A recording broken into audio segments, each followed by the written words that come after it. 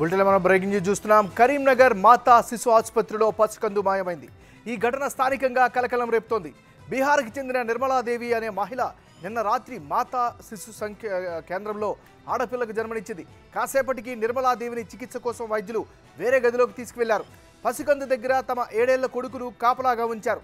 తర్వాత పసికందు కనిపించడం లేదని ఆసుపత్రి సిబ్బందికి కుటుంబ సభ్యులు ఫిర్యాదు చేశారు. ఈ ఘటనపై కేసు నమోదు చేసుకున్న పోలీసులు సీసీ కెమెరాల సాయంతో దర్యాప్తు చేస్తున్నారు.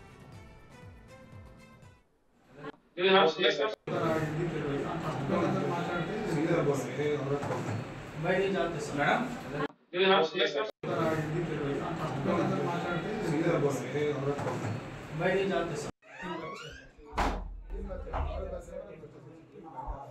ఈరోజు ఎక్కువ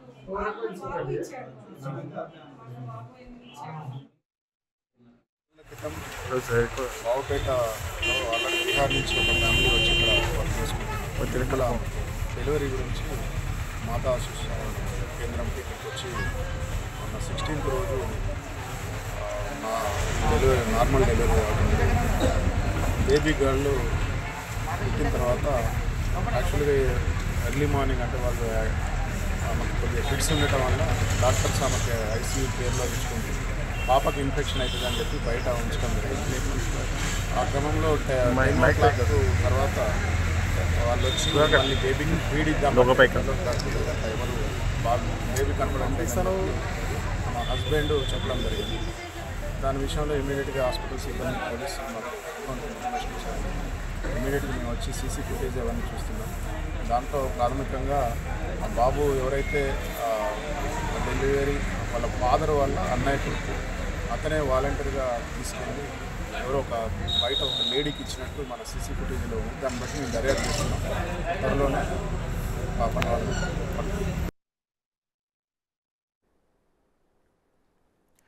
కరీంనగర్లో పసికందు అదృశ్యంకి సంబంధించి మరింత తాజా సమాచారాన్ని మా రిపోర్టర్ శ్రీనివాస్ అందిస్తారు. శ్రీనివాస్ చెప్పండి మీ దగ్గర ఉన్న అప్డేట్స్ ఏంటి?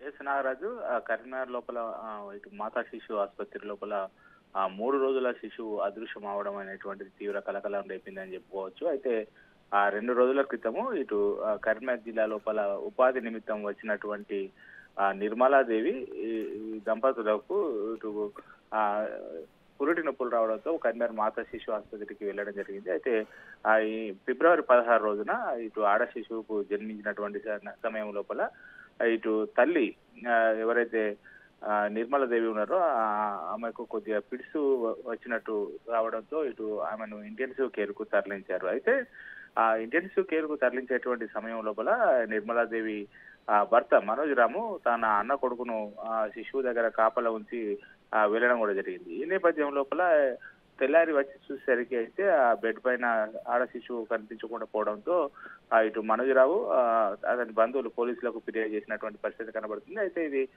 ఆలస్యంగా వెలుగులోకి రావడంతో ఈ రోజు ఉదయం ఆ పోలీసులు ఆసుపత్రి ఆవరణ లోపల ఉన్నటువంటి సీసీ ఫుటేజ్ అంతా కూడా చెక్ చేశారు. అయితే కుటుంబ సభ్యుల యొక్క పాత్ర పైన కూడా ముఖ్యంగా పోలీసులు అనుమానం ఉన్నటువంటి నేపథ్యం లోపల ఆ సీసీ ఫుటేజ్ చెక్ చేసేటువంటి క్రమ- క్రమం లోపల ఎవరైతే వాళ్ళ అన్న కొడుకును ఆ బెడ్ దగ్గర ఉంచి వెళ్ళినటువంటి ఆ ఇటు మనోజ్ రాము వాళ్ళ అన్న కొడుకును ఉంచి వెళ్ళగా ఆ వాళ్ళ అన్న కొడుకే బయటకు శిశువును తీసుకొని ఆ బయటకు వచ్చి వేరే వారికి ఇస్తున్నటువంటి దృశ్యాలు అయితే సీసీ ఫుటేజ్ లోపల రికార్డ్ అయినటువంటి పరిస్థితి కనబడుతుంది దీనిపైన ప్రాథమికంగా మనోజ్ రామ్ కుటుంబ సభ్యుల. పాత్ర కీలకంగా ఉన్నదని చెప్పి దర్యాప్తు చేస్తున్నటువంటి పోలీసులు అయితే ఆ, ఇప్పుడు ఆ, దీనిపైన పూర్తి స్థాయిలో ఎంక్వైరీ చేస్తున్నారు అయితే కనీసం ఆ శిశువును ఆ, చిన్న పసికందును బయటకు తీసేటువంటి క్రమం తీసుకెళ్లేటువంటి సమయం లోపల అసలు ఆసుపత్రి లోపల ఏం జరుగుతుందో కనీసం పర్యవేక్షణ వేయడం ఆ, పైన అయితే విమర్శలు వస్తున్నటువంటి పరిస్థితి కనబడుతుంది నాది రైట్ థ్యాంక్ యూ శ్రీనివాస్